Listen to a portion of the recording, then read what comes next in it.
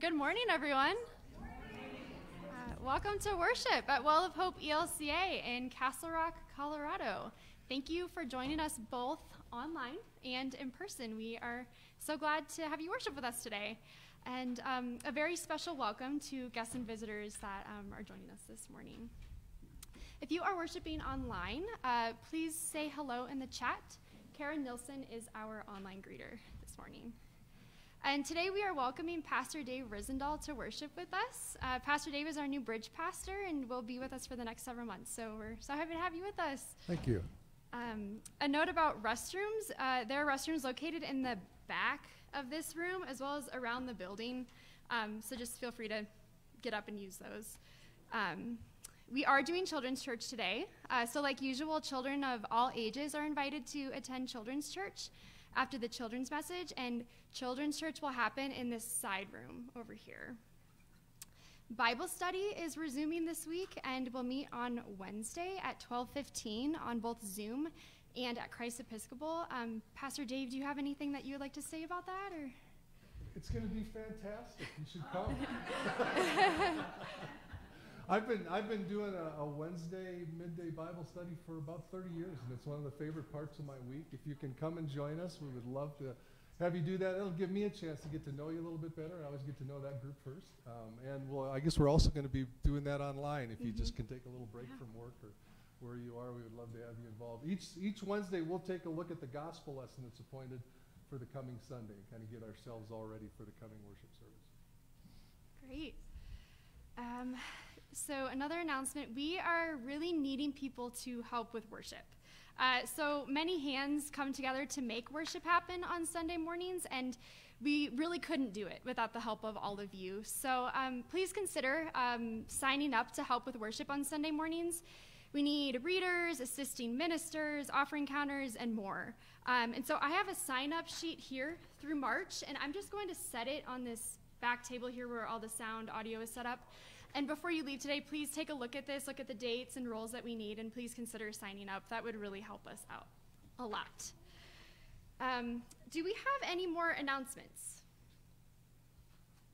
No? All right. Well, then let us quiet our hearts and minds, and we will be- begin with our call to worship.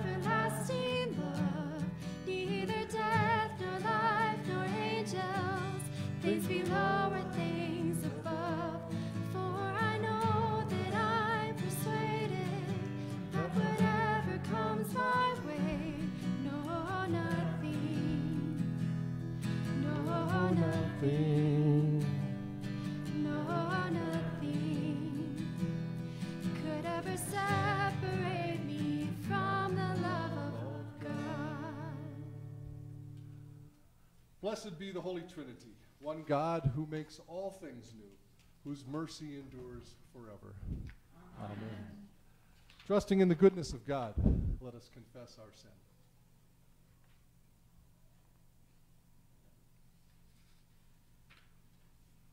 Holy One, we confess that we are bound by sin and cannot free ourselves. Our hearts have turned away from you we have not loved as you love. Forgive us so that we may be reconciled to you and to one another for the glory of your holy name. Amen. Thus says our God, the former things have come to pass, and new things I now declare. God's mercy makes us new. We are forgiven in the name of Christ, our Savior. Amen. Please rise in body or spirit for our gathering song, Baptized and Set Free.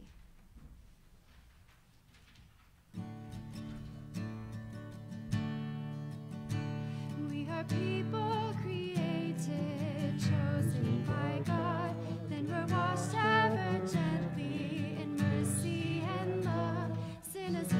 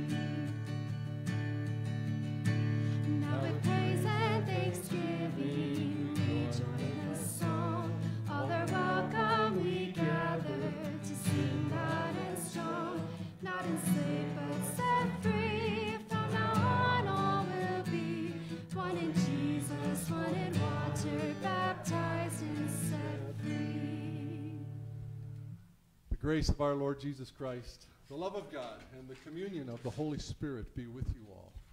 And also with you. Let us pray. Holy God, our strength and our Redeemer, by your Spirit hold us forever, that through your grace we may worship you and faithfully serve you, follow you and joyfully find you, through Jesus Christ, our Savior and Lord. Amen. Amen. Invite you to be seated. And invite any of the kids who are with us this morning to come on up for our time with the children.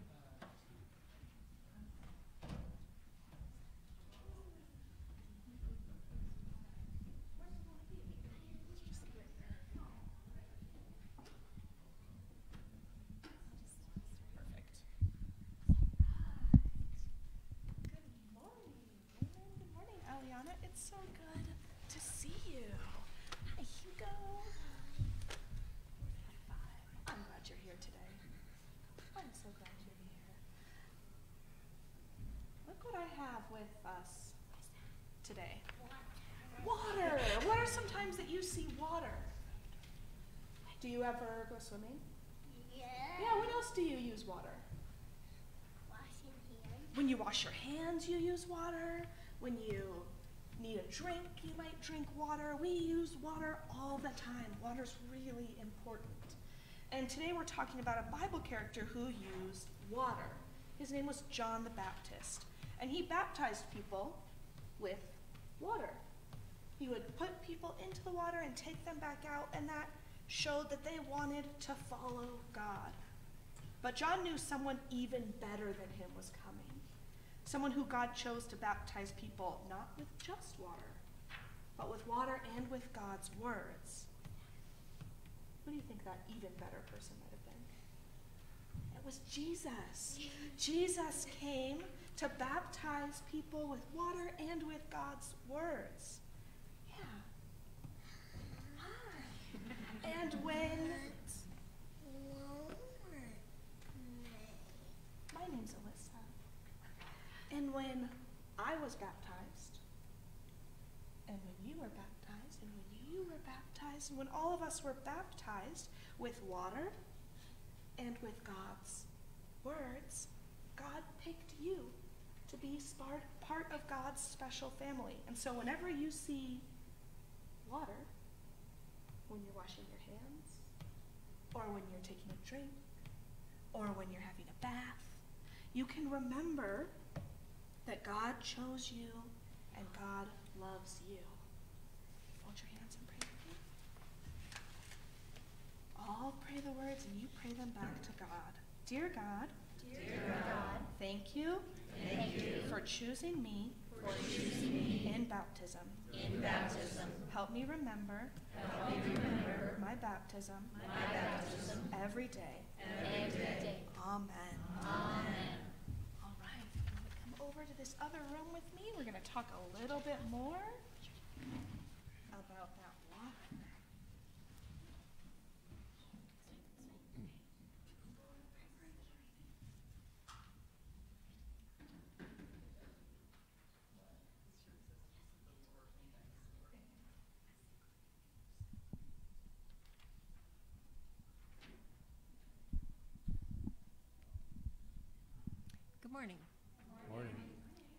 first reading today is from 1 Corinthians 1 1 through 9.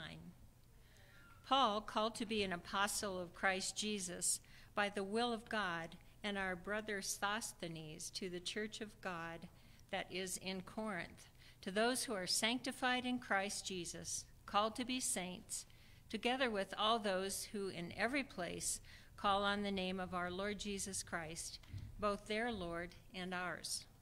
Grace to you and peace from God our Father and the Lord Jesus Christ.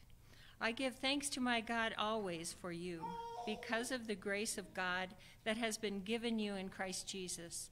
For in every way you have been enriched in him, in speech and knowledge of every kind, just as the testimony of Christ has been strengthened among you, so that you are not lacking in any spiritual gift as you wait for the revealing of our Lord Jesus Christ.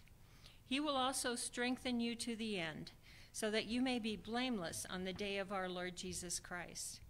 God is faithful. By him you were called into the fellowship of his Son, Jesus Christ our Lord. Word of God, word of life.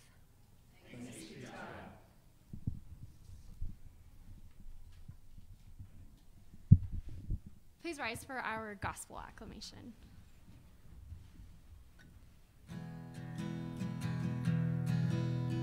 Hallelujah, sing hallelujah. Let's give God the praise. Hallelujah, sing hallelujah. Christ is born today.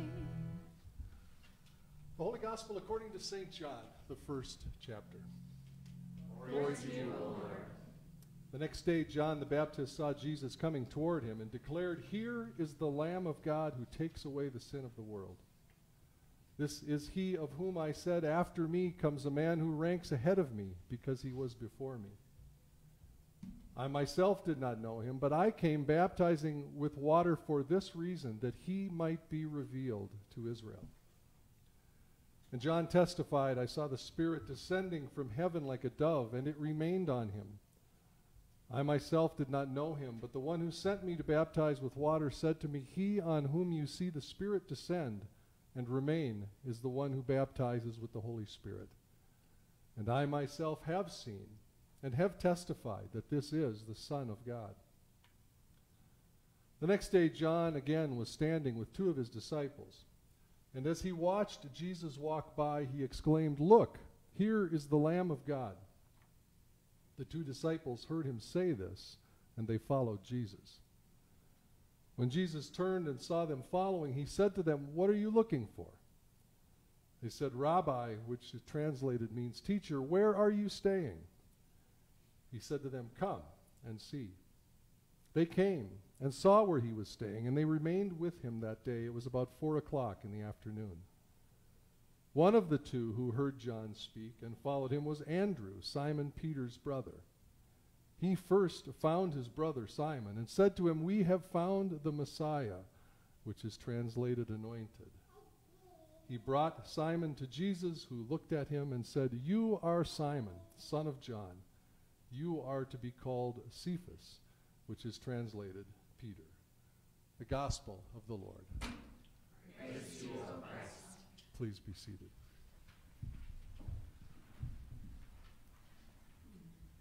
And dear friends at Well of Hope Lutheran Church, grace to you and peace from God our Father and the Lord Jesus Christ.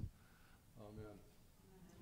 I'm reminded this morning of a very old story uh, of a pastor who was joining a church on his first Sunday after the congregation's prior pastor had left. Does that sound a little bit familiar to you? and he was trying to explain his role to the congregation and said to them, You know, he says, I'm like, well, it's like if you break a window when the hardware store is closed. And you go and find an old piece of cardboard and tape it over the window until the hardware store opens, and then you can go buy a whole new pane. He said, Well, I'm kind of like that piece of cardboard. I'm just going to fill in until we get a whole new pane that fits right for you. And after service, someone came out and greeted the pastor and said, Pastor, you know, I, I don't think of you as an old piece of cardboard. I think of you as a whole new pane. so I don't know if you think of me as an old piece of cardboard or a whole new pane, but I want to say I'm really excited to be here with you, and I'm really looking forward to these next few weeks together. If you look at the biography in the back of the worship folder this morning, you'll learn that I served five congregations since I was ordained in 1984. But the one that really captured my heart was in Phoenix when I had an opportunity to start a new ministry and spent 10 years at that congregation. I had the most extraordinary experiences. It was one of the most meaningful ministries I've had, and I'm really looking forward to, to having a few experiences just like that with you in these coming months. I, I probably also should say before I begin today that uh, before she left your congregation, your pastor, who's an old friend of mine, sent me a letter. And in the letter, she made three things quite clear. She said that her sermons tend to last from eight to ten minutes. she said that the congregation is very appreciative of her commitment to brevity. And she specifically said that some of you asked her to make sure that I know that. so I'm, I'm going to do my very best to keep my sermons at eight to ten minutes. Although I did also remember long ago hearing a sermon by a pastor who began his sermon saying, I'd really be surprised if I go more than 45 minutes today, but I've been surprising myself a lot lately. but don't worry, don't worry. My sermons are often much closer to 10 minutes than 45 minutes. I'm also excited to be with you during the season of Epiphany. You know, uh, it, these are these Sundays after the day of Epiphany. Epiphany is one of my favorite words. It, it's a Greek word, actually, and the Greek word is epiphanos, and it means to shed light upon.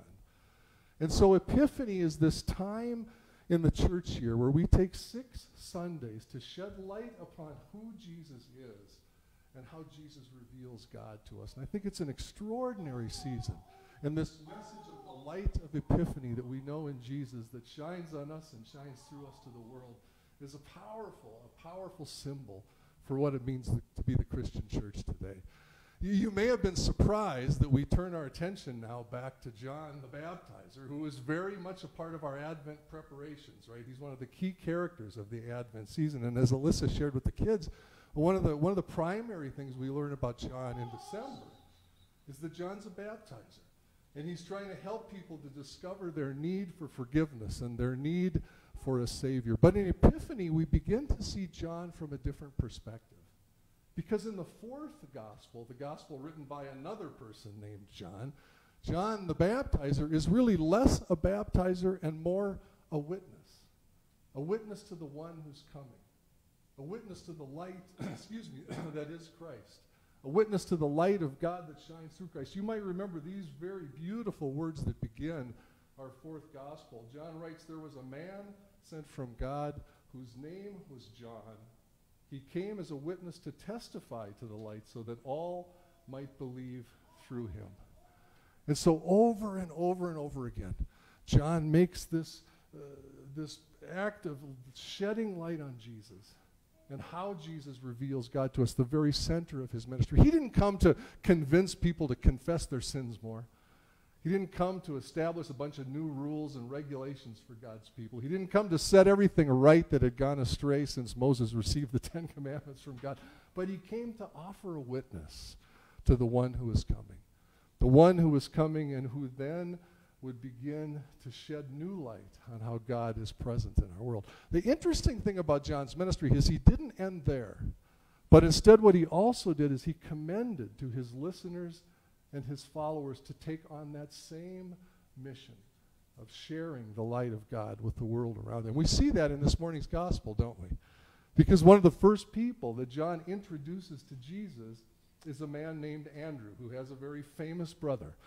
And when Andrew sees in Jesus what John sees in Jesus and begins to follow him, the first thing that Andrew does is he goes and he finds his brother and he announces to him that we have found in Jesus of Nazareth the Messiah, the one whom God is sending to reveal new things to us about this life of faith and love and grace.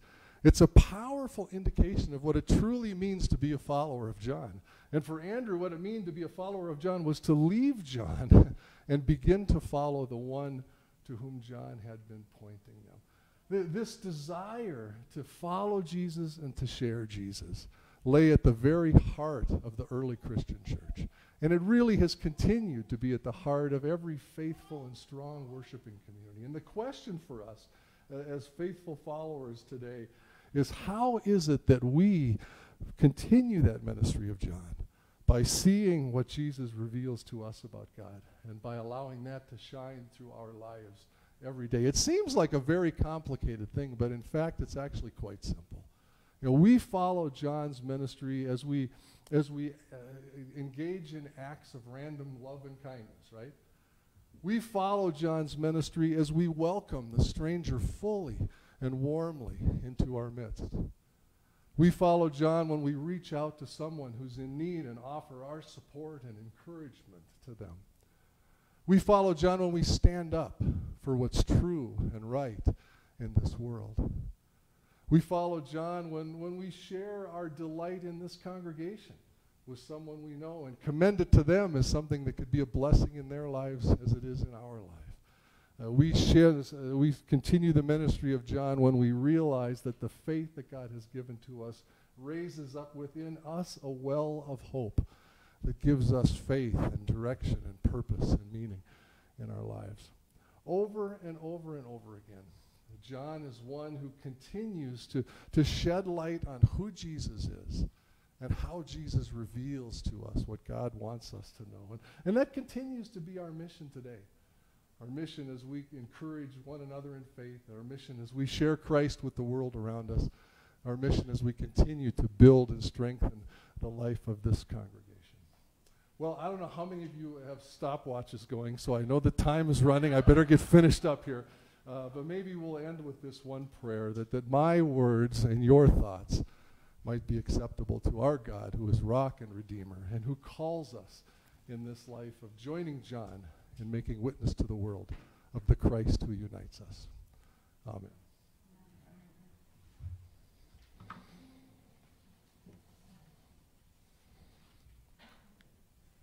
Please rise and body your spirit for our song of the day, Open the Eyes of My Heart.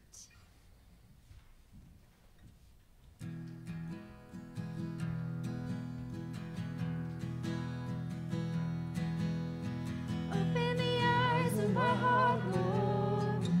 Open the eyes of my heart. I want to see you. I want to see you. To see you high shining in the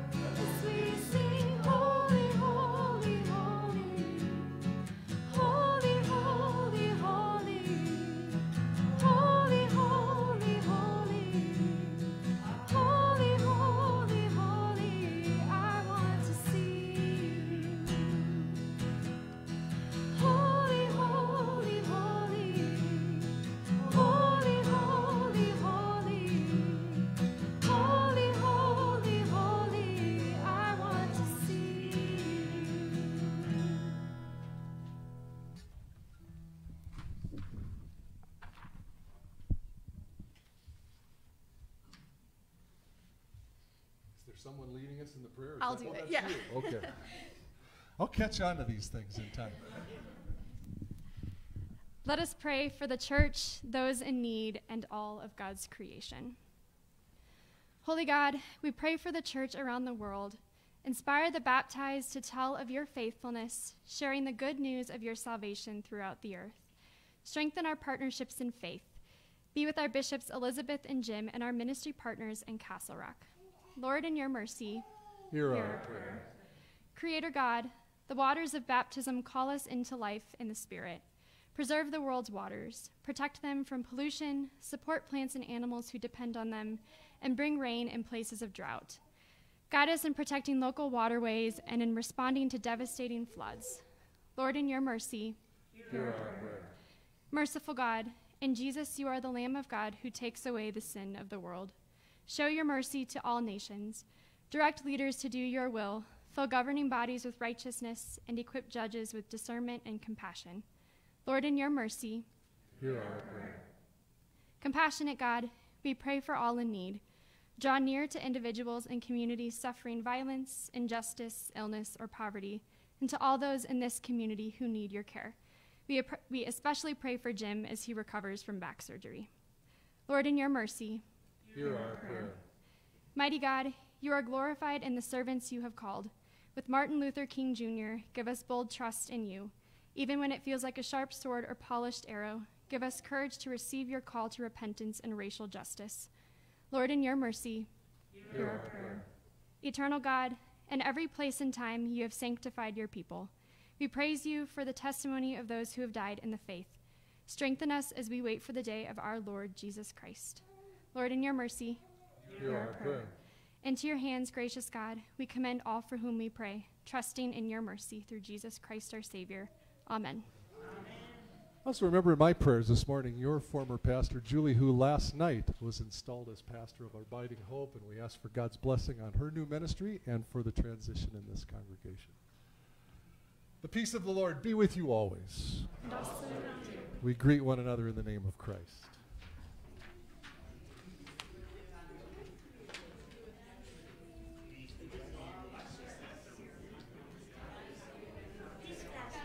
God's peace. God's peace. God's peace. I do the fist bumps during the peace. God's peace. God's peace.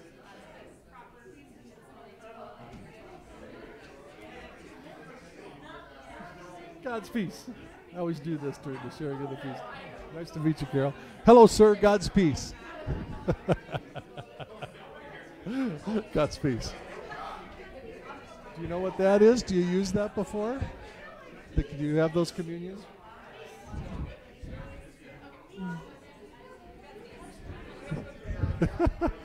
God's peace.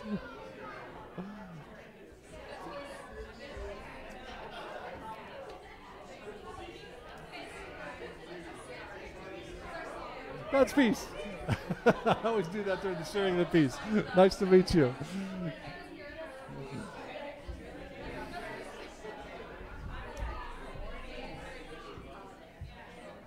Hello there. God's peace to you. Nice to meet you.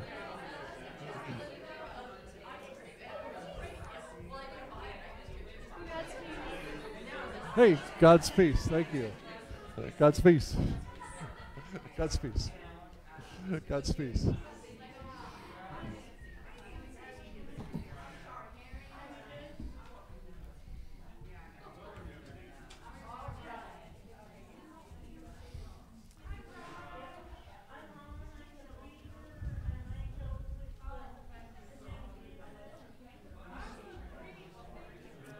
Now invite the congregation to be seated as we receive this morning's offering.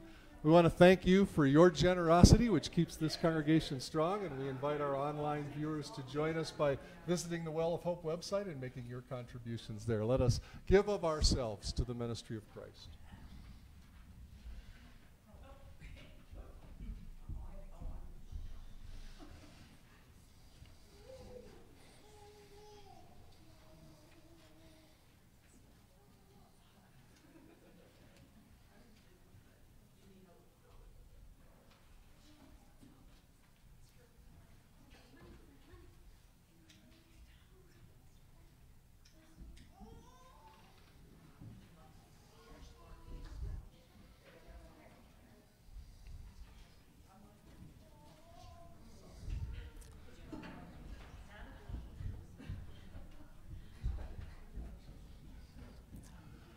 Let us pray. Blessed are you, O God, maker of all things. Through your goodness, you have blessed us with these gifts, ourselves, our time, and our possessions. Use us and what we have gathered in feeding the world with your love, through the one who gave himself for us, Jesus Christ, our Savior and Lord. Amen. We invite you, if you are able, to stand with us as we celebrate this meal. The Lord be with you. Lift up your hearts. Let us give thanks to the Lord our God. In the night in which he was betrayed, our Lord Jesus took bread, broke it, and gave it to his disciples, and said to them, Take and eat. This is my body given for you. Do this for the remembrance of me.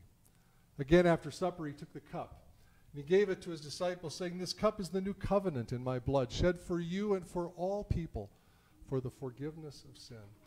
As the Apostle Paul would remind us that each time that we eat this bread and drink this wine, we proclaim the Lord's death until he comes. Let us pray together in the kingdom prayer that Christ taught us to pray. Our Father, who art in heaven, hallowed be thy name. Thy kingdom come, thy will be done, on earth as it is in heaven. Give us this day our daily bread, and forgive us our trespasses, as we forgive those who trespass against us. And lead us not into temptation, but deliver us from evil. For thine is the kingdom and the power and the glory forever and ever. Amen. And every time we eat this meal, we remember that the gifts of God are free. Please be seated. If you're joining us for online worship today and you've prepared bread and wine for your uh, communion, we invite you to receive that now. As you take the bread, we will share with you these words the body of Christ given for you, and with the wine, the blood of Christ shed for you. The congregation is invited to come and receive. We have communion kits here that you can take. There is juice in this container. If you would prefer juice, please come as you are ready and receive the presence of Christ in this meal.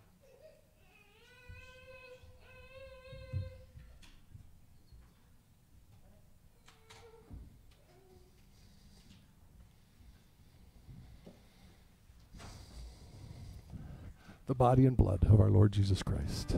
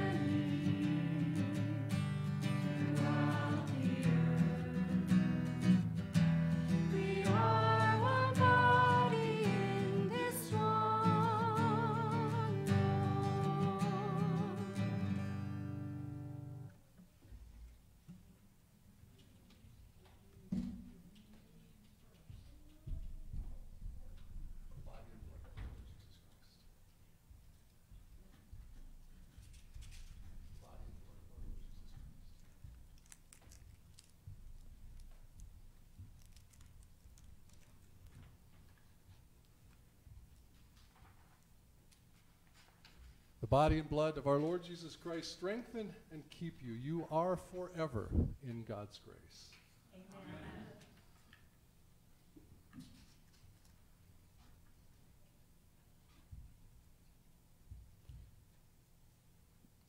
Should I do the prayer? Holy oh, One, It says me up there and it says you on my bullet. My, I guess I'll do it. we could flip a coin. We thank you for the healing that springs forth abundantly from this table. Renew our strength to do justice, love kindness, and journey humbly with you. Let us love God, serve God. Love all, serve all. Thank you, Lexi. And now let's bow our hearts to God and receive these words of benediction. Go forth into the world in peace. Be of good courage. Hold fast to that which is good. Render to no one evil for evil. Strengthen the faith, faint-hearted. Support the weak. Help the afflicted. Honor all people. Love and serve the Lord, abiding in the comfort of the Holy Spirit and the blessing of God, Almighty Father, Son, and Holy Spirit, rest upon you and remain with you this day and forever. Please rise and body your spirit for our sending song, I Will Follow.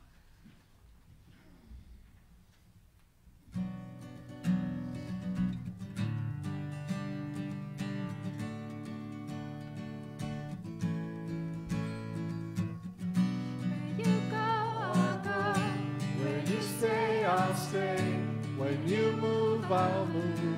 I will follow. All your ways are good. All your ways are sure. I will trust in you alone. Higher than my sight, high above my life. I will trust in you alone.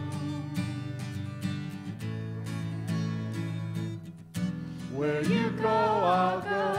Where you stay, I'll stay. When you move, I'll move. I will follow you. Whom you love, I'll love. How you serve, I'll serve. If this life I lose, I will follow you.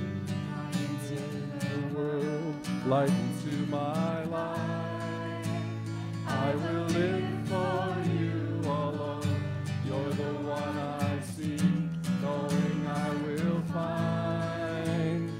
all I need in you alone. In you. Where you go, I'll go. Where you stay, I'll stay. When you move, I'll move. I will follow you. You love, I'll love. How you serve, I'll serve. If this life I lose, I will follow you.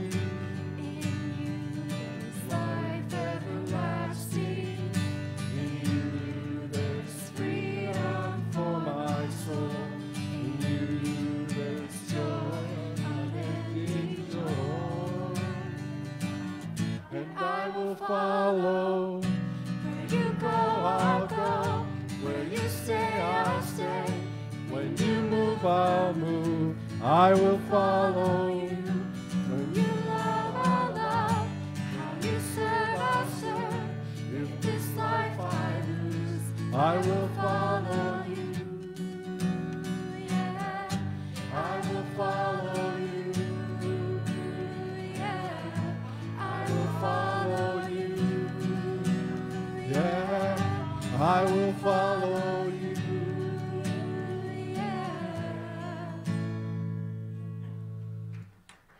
Hey, why don't you join? Let's thank Lexi for leading us in worship this morning. Thanks, Lexi.